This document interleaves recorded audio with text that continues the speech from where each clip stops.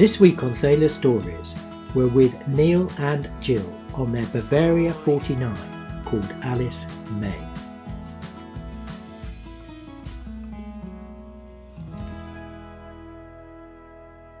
Okay, so we are here with uh, Neil, Jill, and uh, their two daughters, and um, they just started a livable full-time uh, life, isn't it? Yes. Yes. About two, three weeks ago. I believe. Yeah. Um, we left we left the UK on the 18th of September. Yeah.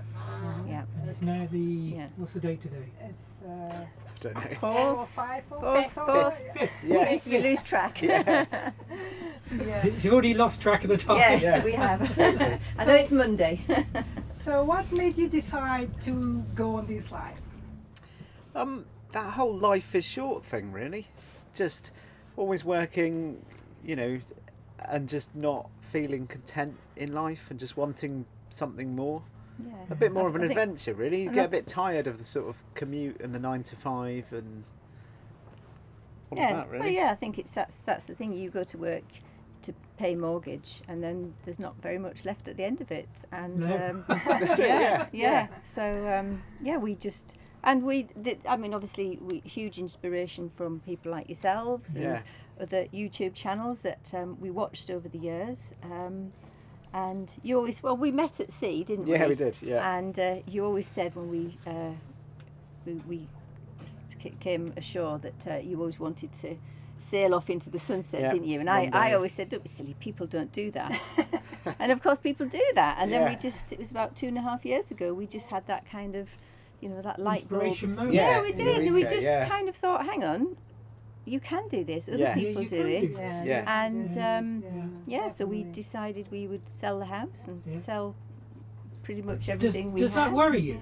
W- uh, worry you that you've lost your capital in your property? Um, not overly, a little bit, but not overly, because I don't. I think it's kind of unique to the UK that whole Yeah. Must own a property thing. Yeah, when actually Yeah, most yeah. of Europe rent, you know, and I'd be quite happy to rent because then you don't have the maintenance issues. You can just ring someone up and say this is broken, come and fix it. Mm. It, you know, owning property is good. Don't get me wrong, but. I'm not 100% focused on that anymore. I was at one point in my life, but mm. now actually I'm at that age mm. where actually it really doesn't bother me. I mean, we, we So- were we were lucky that we sold the property and we had a little bit of equity, Yeah. and that's why we could Yeah. buy Yeah. this and Yeah. have a little bit of uh, money in the pot. to- Yeah. to- But to it's a way of through, uh, but yes. using the capital that you've built up in a house, isn't it? Yeah, to actually, absolutely. Yeah. To go off and do something and Yeah. enjoy it. Definitely. Yeah, Because yeah, uh, absolutely. Yeah. life is all about living. It is Yeah. absolutely that. Yeah. Yeah. Yeah, Yeah. The other thing as well, actually, is actually spending meaningful time together with the kids Yeah. in a nice environment. Yeah. You know, whereas in the UK, they would come home from school. You know, we would come home from work. It was dinner time, hour hour maybe in front of the television, and then bed. And I, you I think as well, we spent a lot of time um, sort of renovating properties, Yeah. and it was always you never felt you really should go out and enjoy yourselves because it was always this to do and to that. do. to do. Yeah. There was always jobs Yeah, to yeah. do. Um, and I think over the years we we never were never really able to enjoy family holidays No. financially really. Um, so we kind of thought, you know, perhaps they've not that they've missed out, but you know, perhaps th- this is this is a time now to um, make amends on that and Yeah. uh, do a bit of do a bit of a, an adventure. So you were never actually attached to your family home. So that made it kind of a bit easier, did it? Uh, not I, d- I wasn't. No, not we, really. we lived in our, our I mean- previous home for what, Yeah. ten or eleven years, um, and it was nice. Loved the place. But it was only Um, really nice just before we sold yeah. it, because that's how you do it, Yeah, not it? Is yeah, you, you put yeah, up we with all these yeah, things for years, did, don't you? And then when you come to sell, you think, right, I'm going to make this something special. You bought the boat in uh, uh, in the Hamble. In Southampton, yeah, Southampton. Sha- yeah, Shamrock So- Quay. Uh, what was it like the very first night you went down to the boat and you slept on it for the very first time? It was good, wasn't it? I enjoyed it. It was yeah. yeah. It was kind of wow. This Yeah. is it. After all of Yeah. this, this Yeah. you know, last couple of years. Was it a feeling of freedom or you were uh, afraid of the life? Or No, no, def- no, Not def- afraid, no. definitely, yeah. It, it felt good. I don't, I don't think we said, think- didn't we? We didn't have any regrets about Yeah. selling the, the property um, that we had, and yeah, I think it was just that, that like you say, that freedom and that kind of think- wow, we've actually achieved this. We've Yeah. we've set Yeah. out to do something, and and it, Yeah. you know, it's, it's hard work. Yeah. It it's, is, It's it is. tough. Um, For me, it was Yeah. a sort of sense of relief. Actually, we got there. We've got a boat. You know, we've gone through the whole thing of survey and insuring it and everything. All the boxes you have to tick on the way to boat ownership. And really, that you know probably was the first time in probably 20 years, really, wasn't it? That actually we haven't had anything to do. No house to do up. No project ongoing at that Yeah. stage. You know, Yeah. and it was it was Yeah. quite nice and just was- to it sort was- of stop yeah. and take stock of it. You know. Yeah, and like you So- say, that sort of that sense of accomplishment and, And also, you've been through all the anguish, I- I'd imagine, of getting rid of everything, Yeah, selling downsize. it, getting rid of things, sorting yeah. it all out, because you have so much stuff when you live in a Yes. house. You do, yeah, Yeah. yeah, yeah, totally. that, that was difficult. I think for me, M- much more difficult for you than it was for uh, me. You know, I'm Yeah. a bit of a You collector of, a of stuff. You're Yeah. Um, you're going to sell it, you're going to give it away, or you're going to Yeah. bring Yeah, it with yeah, you. yeah, Yeah. absolutely. And the thing is, um, because we were doing this, um, well, I was going to say a lot. A lot of it was came that sort of selling It- things yeah. came after during COVID, didn't it? So, Yeah. so when we might have been going to car boot sales and things, um, we, we couldn't do No. that, could we? Um, but we gave a we gave a lot to charity. Yeah. They had Yeah. a van. They probably thought, oh no, they're here again. Yeah. Um, so um, that we, we gave a lot to um, a, a local charity in Poole, Yeah. Um, and um, we sold a few We bits. sold in- the big yeah, stuff, didn't yeah, we? Like quite a few furniture and things like that We sold, but a lot of the smaller stuff was just. but we still have two two uh, units, yeah. Yeah, we still have two one. storage Yeah. units. We Yeah. have one, but it's a Um, very small one. Uh, yeah, Yeah. so we need to go back at some point Yeah. and focus on that, don't we? Yeah. And uh, We don't need get a rid of. lawnmower. So from the uh, from Shamrock Quay up in uh, Southampton Water, Yeah. you went down to Poole. we did. That's correct. Yeah. Did yeah. you stop off on the way? No, No. just did a day sail straight Down down. Um, we did a lot of jobs at Shamrock Quay. Like started off with the lithium battery install, the solar arch, the bimini and spray hood. So once those jobs were done, because they were all sort of centric to Southampton, Yeah. um, it was the good opportunity then to move the boat to Poole to tie up the loose ends in Mm, Poole really mm. because that's where our home was. Yeah, So yeah. although we didn't really tie up. Well, it was any- difficult again with the did we? COVID thing Yeah. because we bought the boat. Well, by the time we had the survey done in sort of beginning of June, um, and we had to basically commute from Poole to Southampton Yeah. basically on a daily basis, which was was a bit. Um, Well, the marina wasn't allowing you to Yeah. sleep on it when we first bought it. yeah, because of Yeah, COVID. Not until yeah, I think when did we buy it? Was it? it was Ju- June. Yeah, pretty much. and it was something like July the fourth before they would actually let you yeah. stay overnight and on we your boat. we couldn't get it into Poole again because of. Well, one because we we were a bit big for uh, most of the marinas in Poole, This is a, just And- to clarify. This is a Bavaria Forty nine. 49. Yeah. and it's okay. uh, what is it? so it's a bit big for the UK, isn't it? It, it, well, by standards around the Solent, it's not that big in the Solent, is it? But Poole Harbour standards, Yeah. it's quite big, and there was only really two options of berths there, and one was didn't have any availability, and the other was had sort of a COVID, we're not open, Yeah, till you know, July. till July policy. Yeah. So And by that point, we'd sort of already started committed to jobs in Yeah, Southampton, and yeah. um, but it was nice actually. It was nice to be able to get her down. Uh, First of September, yeah, um, we took her down to Yeah. Poole, and it was it was nice actually to actually leave from Yeah, there. It was yeah. nice having it was another tick in the box, yeah, really, and wasn't it was nice having like- sort of family and friends being Yeah. to Yeah. wave us off, which was yeah. was nice. And then yeah. uh, you had quite an interesting journey down here, didn't you? yeah, just a bit. Um, it was good, really. I mean, it was all right. But we, uh, the first 24 hours out of Poole, we came non-stop from. The plan was non-stop Poole to Gibraltar.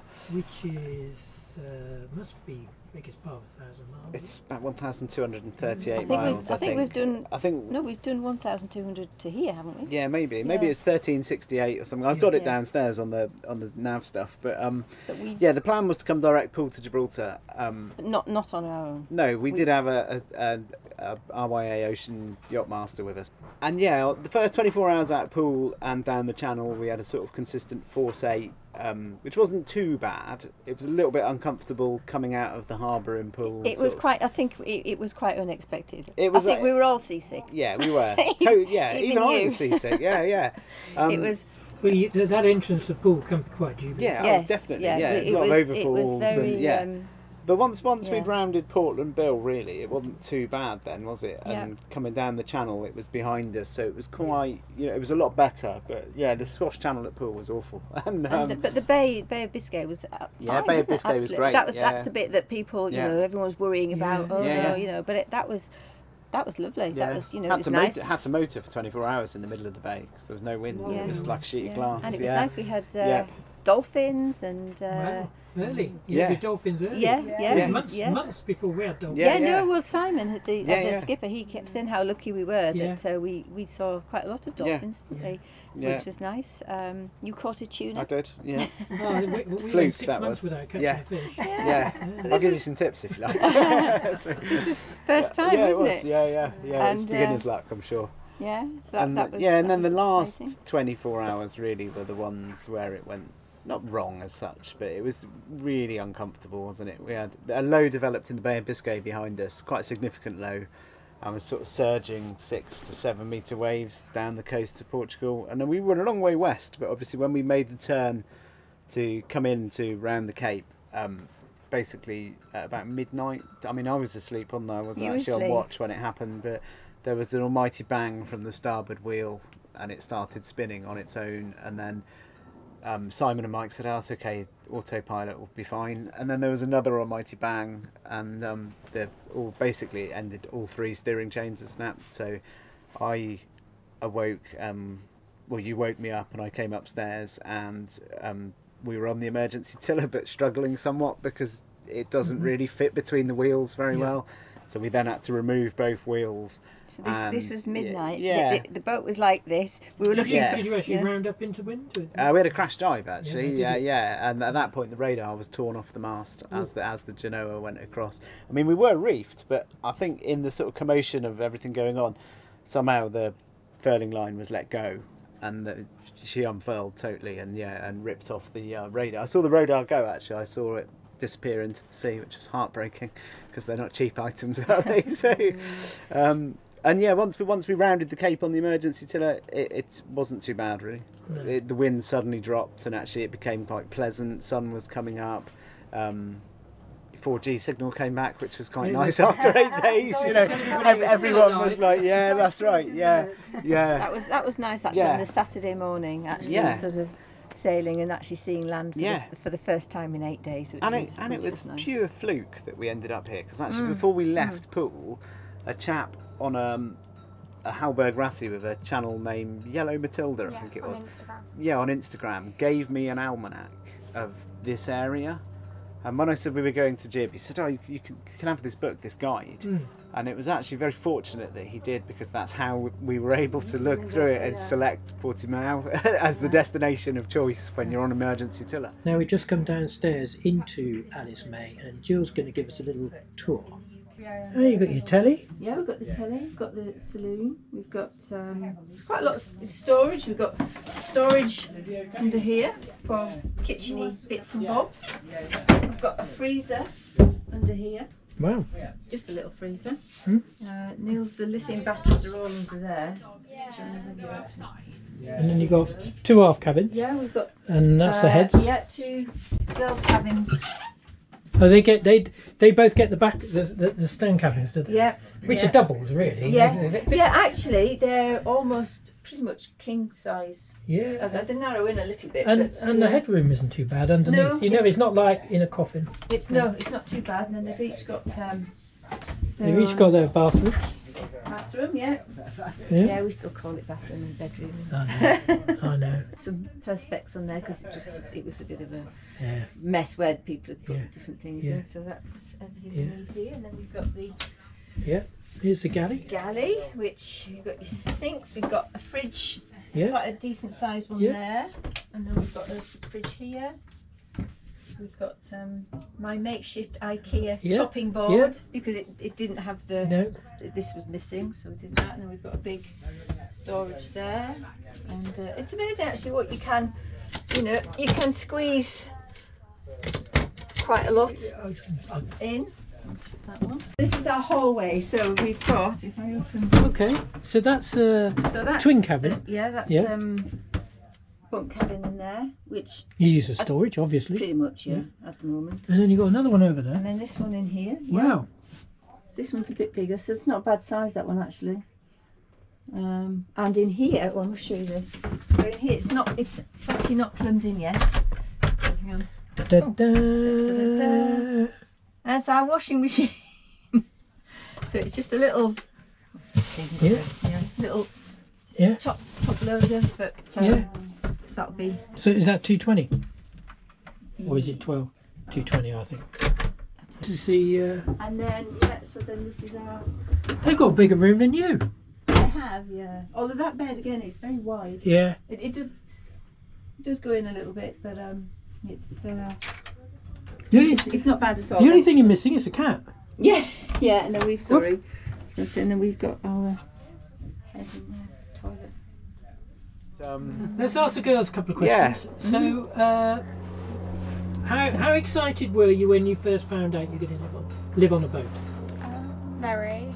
It was about a week before the end of the summer holidays. Yeah. I wanted to go by Monday. yeah. Before we started school again. So you didn't want to go back to school? No.